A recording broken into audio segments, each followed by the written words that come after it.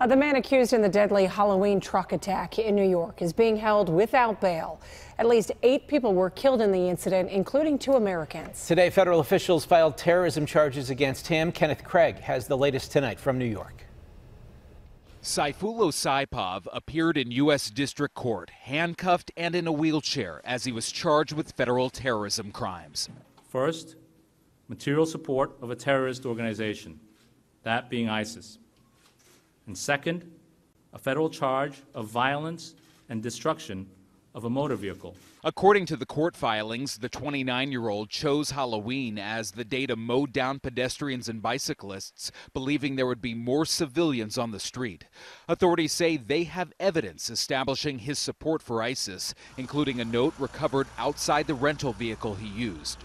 Also, a search of cell phones found in a bag that he was carrying revealed thousands of ISIS related images and 90 videos. Officials say Saipov conducted a practice run last week and wanted to continue his attack down this West Side Highway bike path to kill more people on the Brooklyn Bridge. Oh my God! That did not happen. The Uzbek immigrant crashed his truck into this school bus carrying children before eventually being shot in the abdomen by NYPD officer Ryan Nash.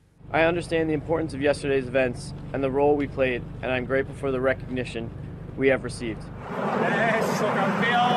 This video shows some of Saipov's victims riding along the bike path before they were struck and killed. The group of childhood friends from Argentina were celebrating a high school reunion in New York at the time. Back in their country, mourners lit dozens of candles in their honor. Kenneth Craig, CBS News, New York. A high ranking law enforcement official tells CBS News that authorities are questioning a friend of the suspect, also from Uzbekistan. At this point, they say there is no evidence linking the friend to the attack.